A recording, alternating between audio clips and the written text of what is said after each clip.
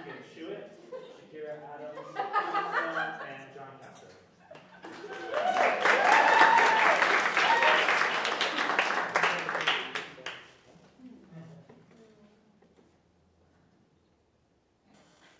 Sweet Ermengarde. Or the heart of a country girl. Chapter one. Simple rustic maid. Ermengarde Stubbs was the beauteous blonde daughter of Karen Stubbs. A poor but honest farmer bootlegger from Hogton, Vermont. Her name was originally Ethel Ermengarde. But her father persuaded her to drop the freedom and after the passage of the 18th Amendment, averring that it made him thirsty for alcohol. C2H5OH. His own products contain mostly methyl or wood alcohol. CH3O. Ermengarde confessed to 16 summers and branded as mendacious all reports to the effect that she was 30. She had large black eyes, a prominent Roman nose, Light hair, which was never dark at the roots. Except when the drugstore was short on supplies. and a beautiful But inexpensive. complexion. She stood at five foot five point three three inches tall. Weighed 115.47 pounds on her father's cotton scale. Also off them. And was adjudged most lovely by all the village swing. Who loved his father's farm and liked his liquid products. Ermengarde's hand was sought by two ardent lovers. Squire Hardman, who had a mortgage on the old home. Was very rich and elderly. He was dark and cruelly handsome.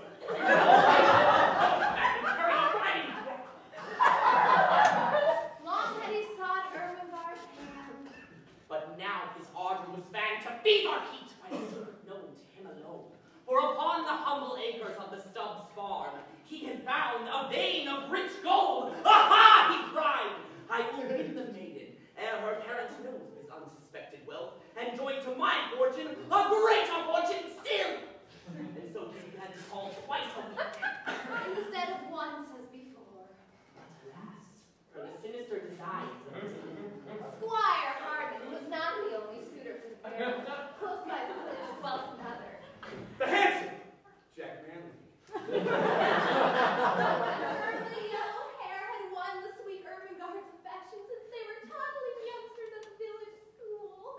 Jack had long been too bashful to declare his passion. But one day, while strolling along a shady Ermengarde, He found the courage to utter what was, what was within his heart.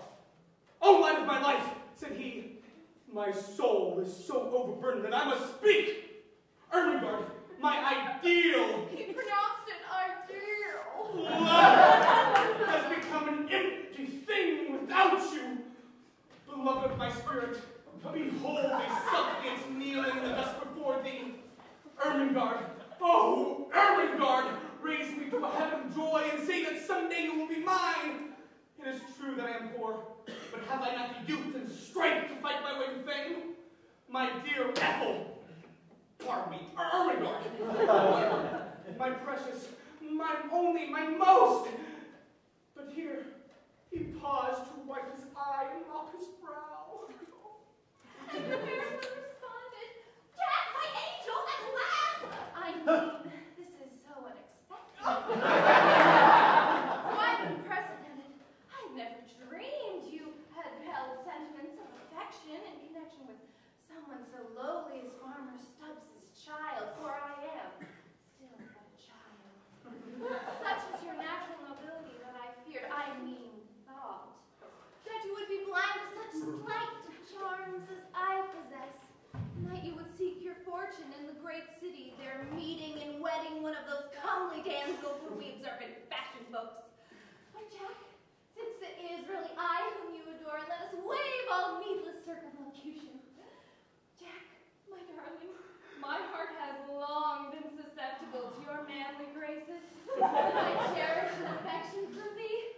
Consider me thine own, and be sure to buy the ring at Perkins' hardware store, where they have such nice imitation diamonds in the window. Ermengarde, my love, Jack, my precious, my darling, my own, my God!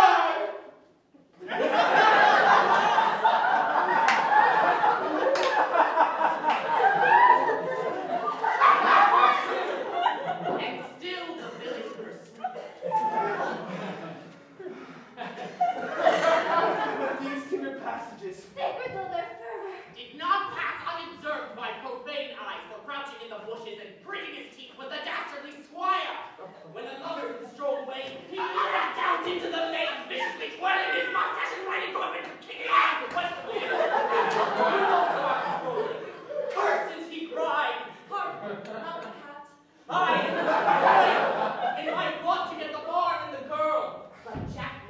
shall never succeed. I am a man of power, and we shall see.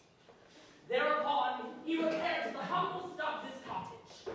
While the father was in the steel cellar washing bottles. Under the supervision of gentle wife and mother, Hannah Stubbs. Coming directly to the point, the villain spoke. Farmer Stubbs!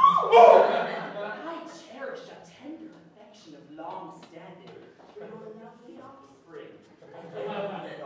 I am consumed with love and wish her hand in matrimony.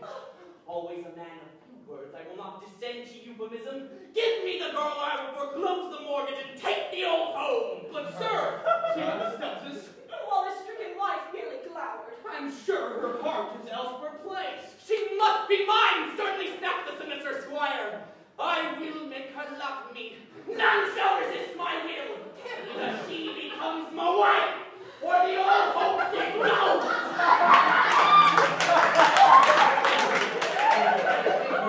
With a sneer and a flick of his riding crop, Squire Hawkins strode off into the night.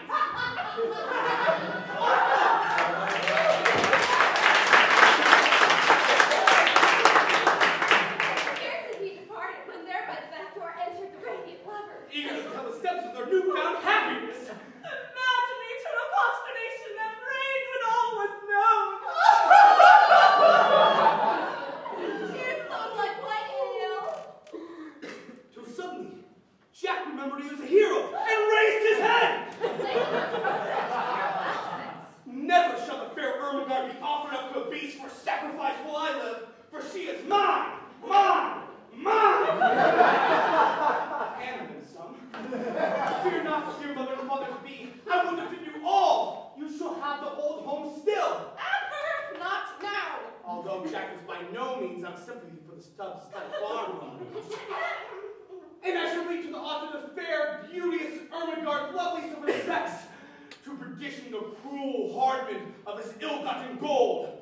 The right will always win, and the hero is always in the right. I leave you now in tears, but I shall return with the money to pay off your mortgage and claim you as my bride. Jack, my protector. Ernie, my sweet roll. Dearest! Darling! And don't forget to buy the ring of Perkins. Oh, Ah! Chapter 3 A dastardly act! The clever squire was easily foiled, but floated by the village lay a disreputable settlement of unkempt shacks that was populated by a shiftless who lived by thieving and other odd jobs. Here, the squire secured two accomplices, fellows who clearly no gentlemen, and together in the night they broke into the Stubbs' cottage. And abducted the fair